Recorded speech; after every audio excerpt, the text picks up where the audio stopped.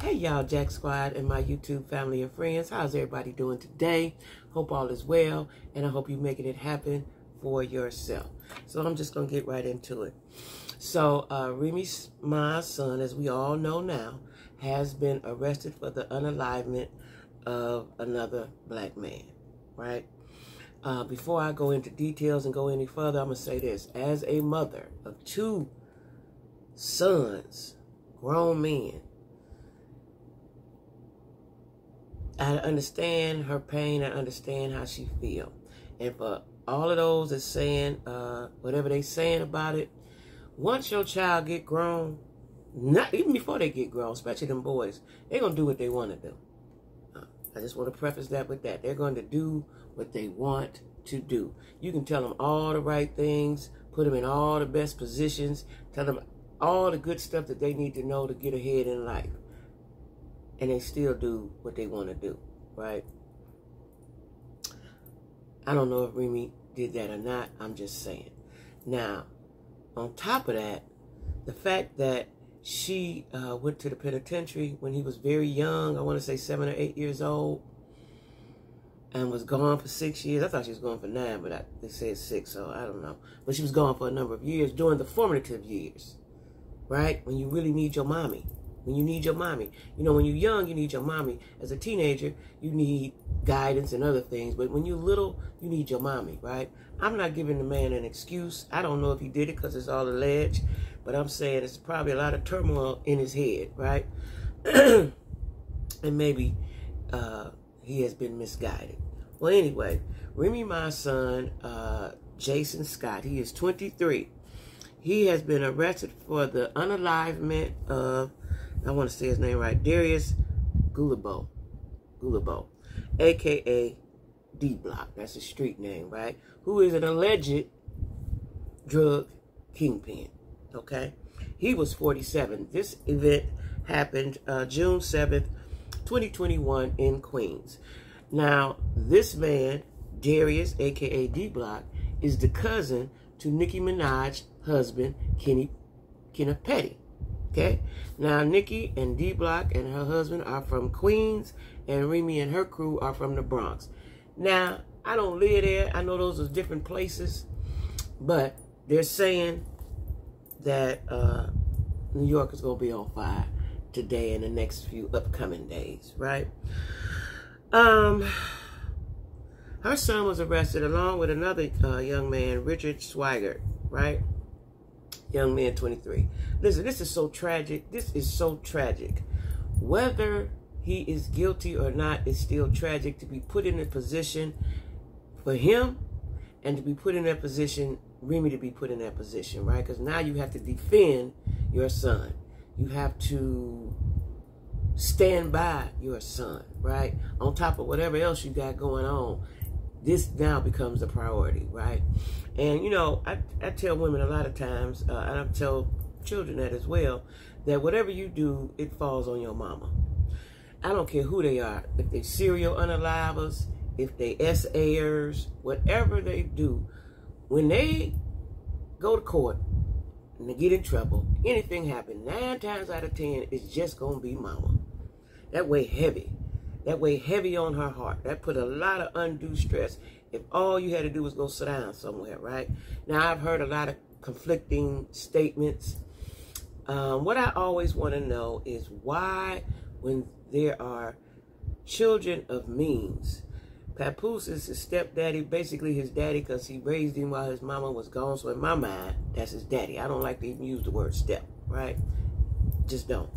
Um, and Remy is your mama. I, I know that they did not live in the hood. I don't know where they live, but I'm hoping that they did not live in the hood. It always befuddles me why children of people with means and, and, and money want to be in hood-related activities. Why they want to be street dudes. You don't have to be. Your mama didn't did the work, so you don't have to be. Take that and ride with it. Why you wasn't in college somewhere? Why you wasn't maintaining a business somewhere? Why do people, black folks, us, once we have a, a door open to get out of the hood, we stay in there. Why? Why? Listen, I don't even have any money. I have no money, right? I left Cleveland. I had a house that was paid for. I left Cleveland because I was tired of hood activities. Somebody gonna get hurt, right? I ain't doing nothing, but you surrounded by it. I want peace. Why, when you have the opportunity to not be a part of that, you choose to be a part of that? Now, this allegedly, I don't know what the young man did. I don't know. But I'm just saying, word on the curb. Word on the curb. It was said that him and this gentleman, the uh, other guy, Richard Swagger, was seen arguing with uh, Darius, aka D Block, because I can't really say his last name, right? And then uh, shots went off, right? I will never understand. I wish I had had a hand up, a leg up, an arm out, for somebody to take me out of my situation when I was uh, in my teens and 20s in my childhood period, right? Here you have the opportunity to be whatever you want to be. And you decide this is what you're going to do. You're going to be street nigga. That's what the people say. I don't know, but I'm just saying, right? Now you got your mama worried. You got your mama all worried and stressed out, causing undue stress when all you had to do was something else, right? Um,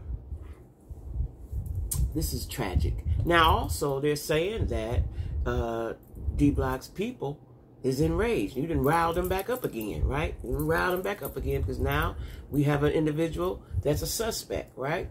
Now, I'm also concerned about, I'm concerned about this young man's safety wherever he go, right? You know, I think in New York, they'd go to the island first. I'm not quite sure, but I think, right? I heard that was a dangerous place, more dangerous than most, right? Um, he needs safety. Then Remy Ma, you know, depend on these type of, if these people is who they say they is, you know, they reach out and touch folks. I know people that reach out and touch folks. You ain't got nothing to do with it, but your mom and them is collateral damage, right? Listen, this thing can get ugly. It can get petty. It can get stupid, right? It can just go wild, right? Um, I still, again, I understand uh, Remy's uh, dilemma, right? There's nothing worse than your child being in a penitentiary somewhere and you can't help. Ain't nothing you can do. Now, at least they have money and they can put money on his books, get him an excellent lawyer or lawyers, right? Get him a good defense team and, and see how he come out with that, right? You know, I, my older son went went away when he was young, very young, and I told him that's where you're going. You keep doing what you're doing, that's where you're going, and that's where he went, right? I had no money. I didn't even have money put on his books. I didn't have, you know, I'm trying to maintain the children that I got at home and live for myself, right? So he does have that advantage. If any of this is true, well, it's true that he's sitting in there. So he does have that advantage of getting an excellent defense team uh, and uh, some zoom zooms and wham wham money, right? This is horrible. This is absolutely horrible, right? Um, I hate to see, let me tell y'all something. I stopped watching First 48. When First 48 came out, I don't know when it came out, early 2000s, 90s, whenever it came out. I used to watch it. I was just thrilled with it. And then it became stupid to me, right? Because families are lost, right? You done went and did something. You done unalive somebody about something that you, you don't own none of this stuff. You done went and unalive somebody. So now your mom and them sad and wearing black dresses. And then uh, the other family, they got to uh, they got to go uh, uh, you know, bury somebody. And the other family got to come see you and see to you for the rest of your life.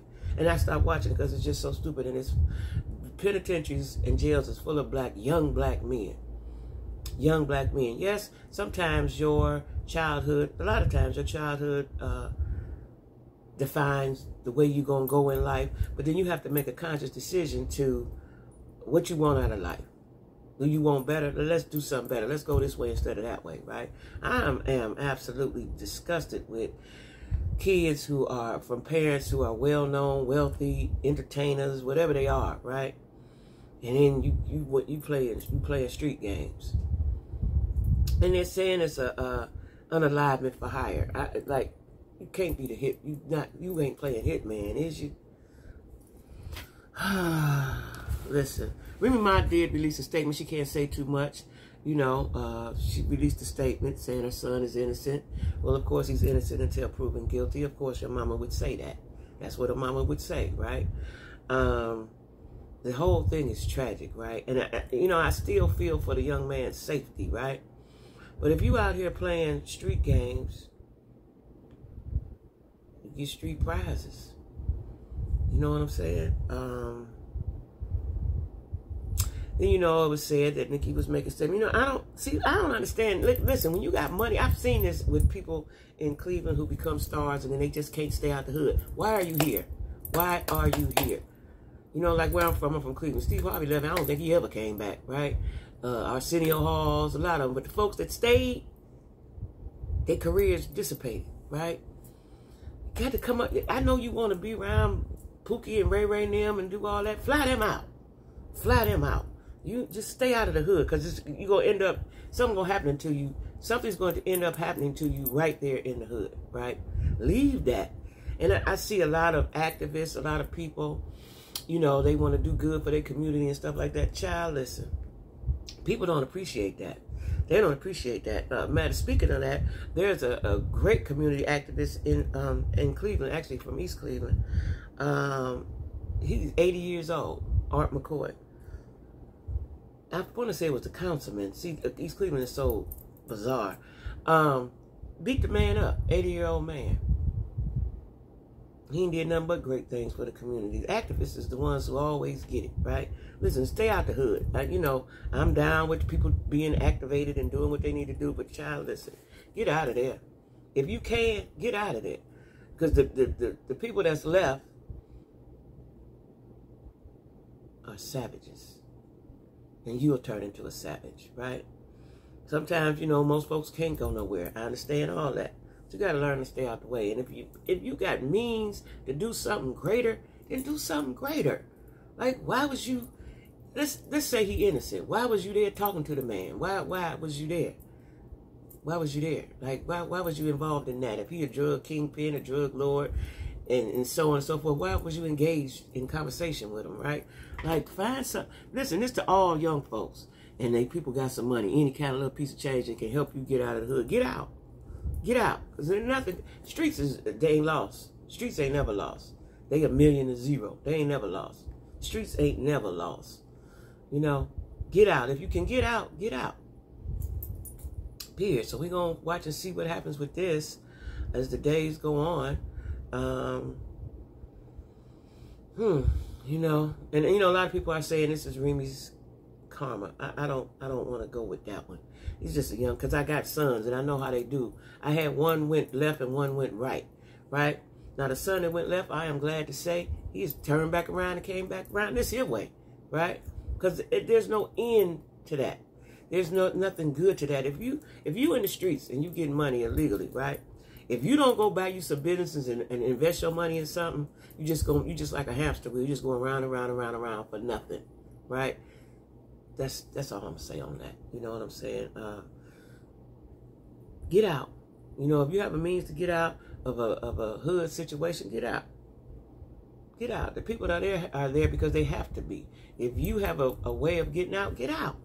It makes no sense to sit in some shit and you ain't got to be in it. That's stupid to me.